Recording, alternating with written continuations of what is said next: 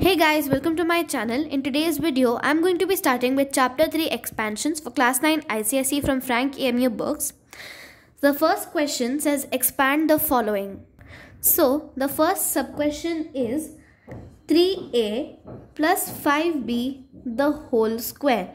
Now, to solve these kinds of questions, we must know the identities that are a plus b the whole square, a minus b the whole square and a square minus b square. If you want me to make a derivation video for all the formulas in these chapters that is factorization and expansion, you can comment down below. I'll be sure to make a video on that topic. So in this sum, we are going to be using the formula a plus b the whole square. That is a square plus 2ab plus b square. So here a is 3a and b is 5b. So we'll use the numbers accordingly. Here a square will be 3a the whole square plus 2 into 3a into 5b plus 5b the whole square. So 3 square is 9 and a square will just be written as a square plus 2 3s are 6, 6 5s are 30 and a into b will just be ab plus 25b square. So that is our answer for this sub question. Moving on, we have the sub question 2 that says a minus 4a minus 7b the whole square. In this one, we are going to be using a minus b the whole square. That is a minus b the whole square equals a square minus 2ab plus b square it's not a big deal if you write these numbers that is a square minus 2ab and b square in a different order because it's going to give you the same answer. So here a is 4a and b is 7b. Let's substitute accordingly. So instead of a square we write 4a the whole square minus 2 into 4a into 7b plus 7b the whole square. So 4 square is 16a square minus this will be 2 4s are 8, 8 7s are 56ab plus 4 4s are or 4 square 49b square and that is our answer for this sub question. Let's see the third sub question that is 2a by 5b minus 5b by 2a the whole square. So this sub question is going to be using the formula that we used in the above question but here we are having a numerator and a denominator. So the square sign will be used for both of them. Let's see how. Mentioning the formula a minus b the whole square equals a square minus 2ab plus b square. We have 2a by 5b the whole square minus 2 into 2a by 5b into 5b by 2a plus 5b by 2a the whole square.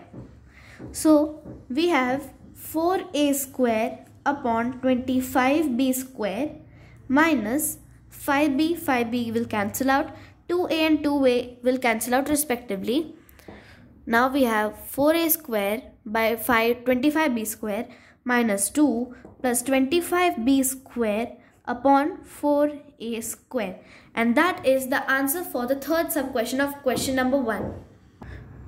So guys here I am with the next sub question that is 2ab plus 3cd the whole square.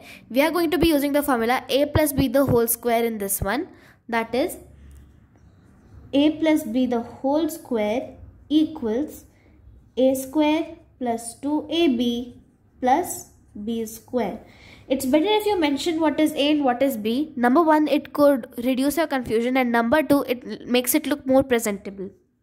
So a equals 2ab and b equals 3cd. So instead of this, we can write 2ab the whole square plus 2 into 2ab into 3cd plus 3cd the whole square. Now we write it as 4a square b square plus 4 3s are 12 a b c d plus 3 sorry 9 c square d square. So this is the answer for this sub question as just we just have to expand we don't have to group and do everything like we do it in factorization. The next sub question says 2a cube plus 5b square the whole square. Now we write the formula a plus b the whole square equals a square plus 2ab plus b square. A is 2a cube and b is 5b cube. We write it as 2a cube the whole square plus 2 into 2a cube into 5b square plus 5b square the whole square.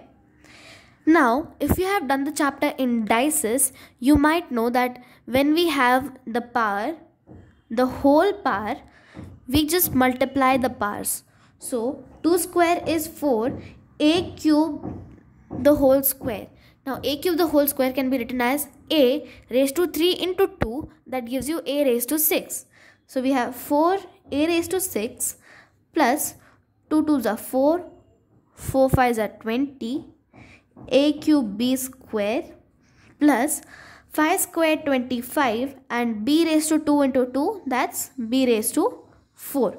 So this is the answer for our fifth sub question. Moving on to our last and sixth sub question. So guys here we are having the last sub question that is root 2a sorry minus 2a minus 5b the whole square. Here we will be using a minus b the whole square a minus b the whole square equals a square minus 2ab plus b square. a is minus 2a and b is 5b. Now, we are taking a as minus 2a because the sign is given before the number. But we are not taking 5b as minus 5b because we have mentioned it that it's a minus b the whole square. Usually the numbers are considered to be positive and when they're negative, the negative sign is taken with them.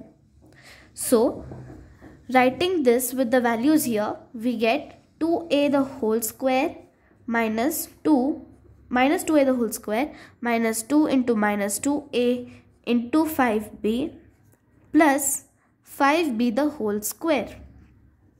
We write it as minus 2 the whole square. Now, if you're doing a square, it does not matter what the sign is. The number will just become the square because minus into minus is plus, plus into plus is minus, plus into plus is plus. So, whatever be the sign, the end number is going to be positive, but only when you're making a square.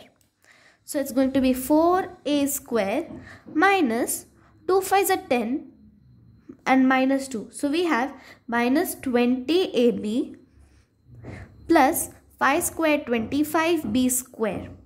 So we have 4a square minus minus plus 20ab plus 25b square.